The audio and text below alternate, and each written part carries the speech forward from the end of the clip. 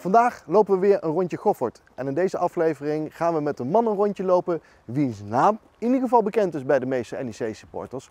Harold Bastiaans, oud-voorzitter van de supportersvereniging van NEC. Hey. Harold, we gaan een stukje lopen. Gezellig. Harold, veel mensen, eh, ja, eh, bekend, bekend gezicht, bekende namen in ieder geval rondom eh, NEC. Maar laten we eens even bij het begin beginnen. Eh, want je bent eh, geboren in Nijmegen. Ja. Waar? Ik ben eh, ongeveer anderhalf, twee kilometer hier vandaan geboren, in. En daar heb ik eigenlijk mijn hele jeugd gewoond, tot mijn twintigste. En daar lag de weg geplaveid naar de Goffert. En ehm, weet je nog je eerste aanraking met de club NEC? Jij, vroeg, jij vroeg mij al een keer wat wat mijn eerste wedstrijd, maar die weet ik niet meer.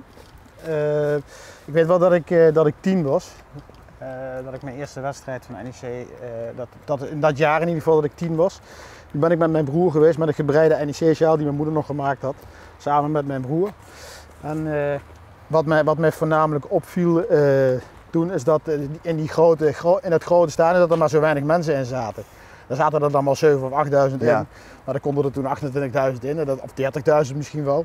Ja, dat is eigenlijk mijn eerste indruk. En, en verder, 42 jaar geleden heb ik mijn eerste seizoenkaart gekocht op Oost. Komen we zo meteen langs. De trap naar, naar Oost met Tante Toos, eh, Roy, eh, zeg maar de, de oprichter toen de tijd met eh, eh, eh, van de E-Side. Dat Mhm. was een groepje wat, wat op Oost stond. En eh, daar kwam ik bij staan op een gegeven moment met een groepje wat eh, nu ook nog steeds heel frequent bij NEC aanwezig is. En dat werd, uiteindelijk werd het een groep van 100, 150, 200 man. En dat werd steeds groter uiteindelijk wel eh, in, in, in de jaren 80. Wat is jou bijgebleven van die, eh, van die tijd eh, in, in de jaren 80 een beetje? Oeh, nou ja, goed, Barcelona uiteraard, maar dat, dat, dat kent, eh, herkent denk ik iedereen. Nou, wat me eigenlijk opvalt, is dat wij, wij, wij speelden vroeger gewoon op zondag. Ja. Nou, en dan eh, mocht je in één keer Europees gaan voetballen. En toen speelden we tegen Brambergen. En dat was een, woensdag, eh, een woensdagwedstrijd om half acht. En ik had echt het idee, de eerste echte grote wedstrijd. Als ik dan straks in dat stadion kom, dan zit het barstens vol. En toen zaten er nog geen 6000 man. En ik was daar echt gewoon teleurgesteld over. Dat niemand hetzelfde gevoel had als wat ik had. Want god, jongens, NEC speelt, e- speelt eh, Europees. Ja. Nou, dat is eigenlijk wel eh, wat ik altijd wel jammer vond. Want als je tegen Ajax voetbalde, dan zat het vol. En als je tegen Excelsior voetbalde, dan zaten er 2.500, 3000 man. Hoe, hoe zou dat komen in die tijd? Ja, en hoe dat, hoe dat komt, ik denk dat, dat het vroeger ja, toch wel minder in de emotie was. Kijk, vroeger deden we het pleintjesvoetbal bij ons eh, in, in Nederzoost. Ja. En dan was, die, was, eh, die was Johan Cruijff en die was eh, Willy Brokamp en ik was Jantje Peters of ik deed Harry Schellekens, ik was keeper. Ik, deed, ik was Harry Schellekens. En dat, dat was, niet, was niet standaard. Ja, waarom dat is, weet ik niet. Uiteindelijk zie je dat in, in, in het nieuwe stadion dat er een hele nieuwe, ja, een heel nieuw, nieuw gevoel over NEC heen gekomen is. Veel mensen hebben, veel mensen hebben dat om, omarmd. Ja, en dat zie je nou ook. Nu- ook weer. We hebben vijf, vijf en een half duizend seizoenkaarten verkocht. Het stadion eh, dat, het gaat weer vol worden gewoon. Ja. Ja. Kun jij, eh, kun jij uitleggen wat dat NEC-DNA is? Ja, dat is moeilijk, weet je. Het is, eh, kijk, als je, als je bijvoorbeeld voor Ajax bent, dan ben je gezegend. Want dan weet je dat je één keer, in, in het, in minimaal één keer per, per, per jaar wel een prijs wint. Als je NEC-supporter bent, dan weet je dat je op, op voorhand niks wint. Als je een keer wel wat wint, of je haalt iets, dan ben je echt blij. Nou, dat heb je ook gezien. We zijn Ja. vorig jaar gepromoveerd. Het was hier een absoluut gekke huis. Ik denk dat het DNA van NEC is dat je, je moet van deze club houden. En als je van die club houdt, dan laat je hem ook nooit meer los. En mis je misschien niet een beetje dat oude gevoel van het stadion? Want je zegt het, ja, je hebt hier de kantine, Nee, je had, goed, je ja, had- dit, is, dit is mijn jeugd. Als ik over mijn jeugd praat, is dat een onderdeel van mijn jeugd. Ik heb heel veel in die kantine gezeten, ik heb heel veel op Oost gestaan. Eh, nee, ik mis, ik mis niet, eh, ik- dit is beter. Eh, je, je loopt hier heel erg lang. Ja. Op een gegeven moment wil je ook gaan inzetten voor de supporters dus. Ja. En toen ben jij in, in de supportersraad gegaan hè? Ja, is- het gaat iets terug. Hè. Uiteindelijk, eh, we zijn, als je terug naar 2000, eh, 2001, 2002 gaat, toen, Ja. eh, toen eh, kwam internet kwam echt op. Mhm. Toen waren we met een groep best wel betrokken NEC-supporters begonnen we, de, begonnen we de, de, de website Forza NEC. En, en, en op dat moment ga je dus, ga je dus als, als, als, als, als website ga je een format maken hoe ga je, dat, eh, hoe ga je nou het beste, hoe kun je nou het beste een website maken van je, van je club?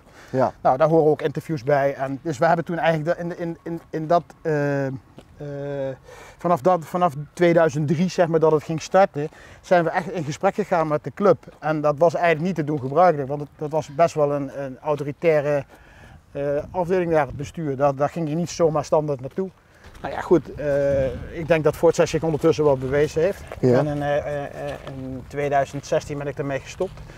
Eh 2015 toen ik voorzitter werd. Ja, 2014, sorry. 2014 was dat, Ja. ja. Toen ben ik ermee gestopt omdat ik vond dat je dat niet samen kon doen. Met Forza. En toen ben ik inderdaad, tussentijds ben ik in de supportersraad geweest. En dan praat je met supporters over wat is goed voor NEC. En wat is goed voor de supporters. Dus 2014 eh, word je voorzitter. Ja. Eh, waar- waarom dacht je van, hé, dat is wel iets, eh, dat ga ik nu eens oppakken? Nou, dat, daar word je voor gevraagd. Het is niet zo dat je dat zelf verzint. Kijk, op Nee, maar ja, ik kan me ook wel voorstellen, je wordt ervoor gevraagd, maar dan heb je er wel over nage, misschien al eerder Ja, over ben- nagedacht ik of ben- met mensen over gehad. Ik ben ooit door Rob Schevers gevraagd of ik, eh, of ik eh, eh, sponsors eh, wilde doen. Ik ben verkoper van beroep, dus ik ben dat gaan doen. Ik sponsors gaan zoeken voor de, voor de supportersvereniging. Maar gaandeweg het, ge- de, de tijd ben ik eh, gevraagd voor het bestuur. Toen ben ik, eh, ben ik ingestroomd in het bestuur. Nou ja, toen ben ik in gesprek gegaan en uiteindelijk is er, eh, is er een jaar later of twee jaar later is er een, eh, is er een kentering gekomen in het bestuur. Waarin ik eh, zeg maar de, de, de voorzitter werd. Toen hebben ze mij gevraagd of ik voorzitter wilde worden omdat ik namelijk vind dat je als, eh, als, als, eh, als vereniging zijnde met de club samen moet werken in plaats voor dan tegen de club moet samen. Hoe ging dat daarvoor dan? Mijn allereerste, ik, ik, ik, dat, dat is echt iets, ik heb dat nog nooit echt openlijk uitgesproken, maar mijn allereerste eh, eh, eh, vergadering met het, met het bestuur van, van de club was samen met het bestuur van de supportersvereniging. Dat was, daar zaten er daar vier en hier zaten er vier. En er er werden over en weer verwijten gemaakt. En dat is één keer geweest dat ik daarbij gezeten heb. Ik zei, dat ga ik niet meer doen. Ik zei, ik, ga, ik heb geen zin om alleen maar te lopen verwijten naar elkaar. Ik vind dat je constructief met elkaar moet praten om te zorgen dat het, dat het een betere organisatie wordt en een betere samenwerking. Ja. Kijk, maar je hebt natuurlijk niet alleen eh, de HKM, maar je hebt, daarnaast heb je een, redelijk grote eh, groep 0, die op 080 staat, dat, Ja. dat Legio eh Novio Magum. Dat is natuurlijk een fantastische groep jongens, die hebben ook allemaal datzelfde DNA-gevoel. Maar dat kun je mooi zien, want wat zij doen, zij zorgen voor sfeeracties. Ja. Zij zorgen voor een zwart t-shirt met een rood-groen-zwarte balk eh, bij een uitwedstrijd bij Utrecht. Zij zorgen voor eh, hele mooie spandoeken. Dat is, weet je, als ik dan daar zit, en ik zit op E- EL en ik kijk naar, naar zo'n spandoek, dan, ja, daar, daar word ik wel blij van. Je hebt het twee jaar gedaan, voorzitter. 2016 eh ben je gestopt? Ja. Of moest je stoppen? Of, Nee, ik heb uiteindelijk zelf besloten dat ik ging stoppen. Ja, wat, nou, dat wat heeft- gebeurde er eigenlijk? Nou, eh, dat, ik kan, er gebeurde eigenlijk niet zo heel veel hoor. Ehm, binnen binnen, binnen, binnen de, de, de vereniging had je een, binnen het bestuur eh, was ik voorzitter. En ik heb, ik, ik, heb altijd voor, hand, eh, voor ogen gehad om, die, om dat gesprek met NEC ten, ten alle tijde goed aan te gaan. Mhm. Uiteindelijk zie je dan dat, dat, dat NEC daar op hapt. Die gaat daarin mee. Die zien daar ook het voordeel van. Uiteindelijk ben je als voorzitter, op dat moment word je, word je ook meegenomen in een hele hoop eh perikelen waar je eigenlijk gewoon geen moer mee te maken hebt. Maar daar werd je wel mee geconfronteerd. Dus daardoor ging je ook een mening vormen over, eh, over zaken. Ja. Dat. En uiteindelijk is het zo dat er een, eh, een, krant, een krantenstuk van, van Danny Hoekman Ja. in de krant stond. En dat ging over dat ik zou gezegd zou hebben dat ik, dat ik het goed gevonden had dat, dat hij weg moest. Dat is natuurlijk onzin, Ja. dat heb ik nooit gezegd. En dat is ook gerectificeerd twee, eh, twee dagen later of drie dagen later. Maar ja, toen was het kwaad al geschieten. En toen, kwam dus, eh, toen, kwamen, toen kwamen dus de supporters met verhaal, hoe, hoezo? Ja. En toen heb ik tegen mijn bestuur gezegd, en toen waren er twee of drie bestuursleden die vonden ook dat ik te ver ging in, in het gesprek met NEC. En ik zei, maar als jullie dat vinden en jullie, ik heb daar geen vertrouwen in, dan moet ik ermee stoppen. Ja. Nou, dat heb ik toen gedaan. Dus eh, ik heb en Forza een stukje HKN gedaan. Eh, ik heb ben sponsor, eh, sponsor geweest van de HKN en van de SV. Ik ben voorzitter geweest en li- bestuurslid geweest. ja, je hebt de club wel goed doorlopen, zeg maar. Ja, Maar was- toen vond je toch tijd om misschien ook eens wat in de politiek te doen. Wat maakte dat dan? Ja, god, wat, weet je, uiteindelijk ben ik wel iemand die wat te doen moet hebben. Ik moet, kijk, als ik straks 67 ben en, en, en, en, ik ben eigenlijk gerechtigd om te stoppen met werken, dan zal ik waarschijnlijk gewoon doorwerken, omdat ik iets te doen moet hebben. Mhm. Ja, dus met de politiek hetzelfde. Ik ben door, eh, door Paul benaderd. Maar toen woonde ik nog in Molenhoek. eh, of, ik, eh, of ik hem wilde, wilde, wilde, wilde helpen met zijn partij. En dat was voor Nijmegen nu. Ja. En ik, ja, ik vond het wel een uitdaging, dus ik heb een aantal gesprekken met hem gehad. Ik denk, ja, dat ga ik gewoon doen. Ik vond het ook leuk, ik vond het interessant en, en ik vind het nog steeds interessant, want ik doe het nog steeds. Ja. Ja. Dan wordt er in de politiek al heel veel, ook al heel veel gesproken over NEC. Ja. Nu ook met natuurlijk Ja. de verbouwing mogelijk van het stadion. Ja. Kun je die dingen scheiden? Of is moeilijk. Ik, moet, ik heb dat ook met, eh, eh, met Paul heel, va- heel vaak besproken. Ja, is moeilijk. Ik vind namelijk dat, dat mijn NEC-hart altijd harder stroomt, eh, het bloed al- altijd harder stroomt dan het, sta, het stadshart, zeg maar. ja. En vooral als het over NEC gaat, dan vind ik, dus ik zal daar waarschijnlijk, als ik, als ik ooit in de situatie kom dat ik, dat ik een, een, een, daarover moet stemmen, zou ik daar waarschijnlijk afstand van nemen, van, van, van, van stemming. Oké. Maar gelukkig eh, voor, de, voor, voor de mensen, ik zit niet in de raad, dus eh, ik, ik hoef niet te stemmen. Ik mag wel een mening hebben, maar die mening is wel gestoeld op, eh, op het rood-groen-zwarte gevoel wat ik heb. Ja. Wat is voor jou jouw mooiste NEC-moment? Oeh, dat is, eh, dat is moeilijk. Eh, mijn eerste, eerste, ik heb er een aantal, vind dat goed? Ja? Ik had mijn eerste eh, eh, Europese wedstrijd die ik hier meemaakte. Dat was tegen Brambergen dan. Dan Ja. Weet je, dat is Europees. Dat kwam ook op tv. Dat was 1984 denk ik, Dat is, niet? dat is, eh, 83 Ja. geweest. Dat is in het jaar dat we ook tegen Barcelona voetbalden. Ja. ja maar dat was wel een ding, ja, dat staat me bij. Ja. Hey, maar weet je wat? eh, Wi- Wisla Krakow vond ik mooi. Mhm. Vond ik echt, vond ik echt geweldig. Daar was ik ook heel trots op. Eh, de bekerfinales was ik trots op. Weet je, als je, als je tegen, eh, tegen Feyenoord voetbalt in, in, in, in de Kuip voor de bekerfinale. Eh, voor de finale. eh, en, en daar zitten daar 10.000 Nijmegenaren. Ja, daar, daar geniet ik wel, moet ik zeggen. ja, dat zijn mooie momenten Ja, inderdaad. Dat is echt. eh, Maar ja, goed, en verder ben ik eigenlijk, eh, eh, weet je, vorig jaar dan, dan, dan Okita die de 2-1 maakt tegen, tegen NAC. Denk ik, ja, wat de fuck gebeurt hier? Ja. Hij doet het gewoon, weet je. Hij, hij raakt met, met die zwabberbenen, maakt hij de, de ene mooie goal en de, en, en de andere ketsen. En op zo'n belangrijk moment maakt hij dat doelpunt. En dan denk ik van, godverdomme, dan gaan, we gaan gewoon weer naar die eredivisie waar we thuis horen. Ja, NEC heeft, eh, is, heeft zich ook eh, afgelopen seizoen wel op de kaart gezet. En eh, natuurlijk, dan hebben we het niet, niet even over die negatieve dingen, maar wel over die positieve dingen als je kijkt naar de uitsupporters. Als je kijkt Ja, naar geweldig. het vak toen bij, Ja. bij FC Utrecht Ja. uit. Maar die sfeer was daarvoor al heel veel is geweldig. Echt. beter Ja. en mooi. Ik denk dat, dat, dat, dat die uitsupporters, die geven de eenheid weer die hier in de, in, in, eh, in de Goffert eh, eh, aanwezig is.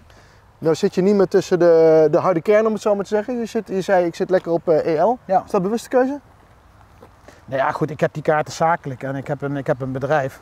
Ja. En ik wil graag een keer iemand meenemen. Maar ik, nee, dat is geen bewuste keuze, want ik kom nog wel als het moet in de schub. Ja.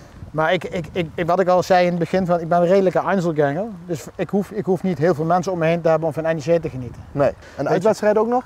Nee, dat doe ik niet meer. Dat doen mijn kinderen.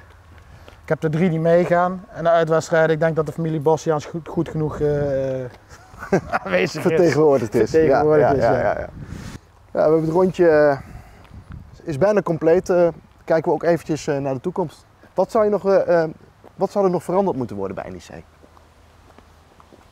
het, zou mooi, zijn- ja, het zou mooi zijn dat, het een, dat, dat, het, dat, het, dat, het, dat er rust kwam. En dat, dat, dat wat je nu ziet, dat dat zich uit kan breiden naar een nieuw stadion met, met nieuwe supporters. Eh, die, die, die, die het stadion met zes- 16.000 man vullen. Dat zou mooi zijn. Weet je, ik denk dat wij in potentie een hele mooie club zijn. En we hebben natuurlijk met, met, eh, met Marcel Boekhoorn een fantastische, eh, een, een fantastische geldschieter. Ja. NEC-supporter die, die een echte Nijmegenaar is, uit, uit de Wezelaan komt. Weet je, iemand die, die, die het, het, het NEC-hart op de juiste plek heeft zetten. En daar mogen we echt eh, heel erg blij mee zijn in, in, in deze tijd. Maar eigenlijk zeg je, ach, het loopt wel lekker. Ja, we hebben er niks te klagen. Weet je, we, Nou ja, we zijn Nuilers in, eh, in, eh, Ja. Nijmegen, dus we nuilen altijd wel heel graag op alles. ja, maar nuilen is, is geen klagen. Nuilen is een, is, dat zit in het DNA. hè. Nee, maar weet je, nuilen is, dat- dat hoort er gewoon bij. Iedereen nuilt.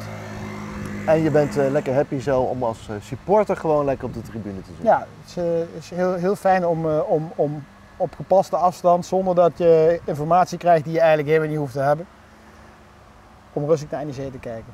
En als je wil weten hoe dat zit, dan kunnen we wel een volgende keer over praten. Maar het rondje zit erop, Het dus dat doen we dan een volgende keer. Is goed. Harold, dankjewel voor je tijd. Jij ook bedankt.